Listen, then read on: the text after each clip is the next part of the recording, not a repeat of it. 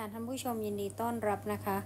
กับสูตรคำนวณเก่าเล่าใหม่เช่นกันนะ อันนี้เป็นสูตรคำนวณวิ่งบนล่างเก่านะใครเห็นคลิปนี้บอกด้วยนะคะ เพราะว่าคลิปนี้เนี่ยจะลงเป็นคลิปวิดีโอท้ายสุด บางท่านอาจจะไม่ได้ดูนะในงวดที่แล้ว ถ้าท่านไหนที่ไม่ได้ดูนะคะ กรุณาย้อนคลิปวิดีโอไปดูนะคะ ว่าอ่าเราลงให้ก่อนที่ เราลงให้ก่อนที่วันที่ผลรางวัลจะออกจริง ซึ่งตรงนี้เนี่ยงวดที่ผ่านมาเนี่ยเราคำนวณได้วิ่งบนล่างตัวเดียวๆเนี่ยก็คือเลข 9 นะสำหรับสูตรนี้เขาออก 606 และ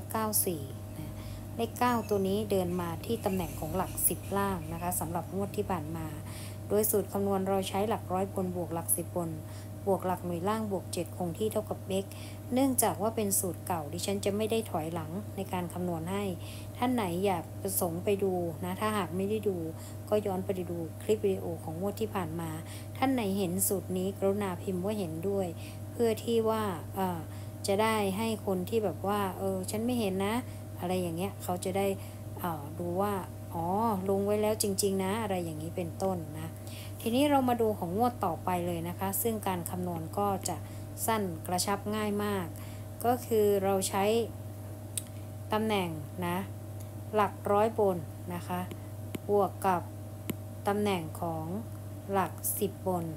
และบวกกับตำแหน่งของหลักหน่วยล่างหน้าที่นี้ได้ 6 บวก 0 บวก 4 ได้ 10 10 บวก 7 คงที่เป็น 17นะ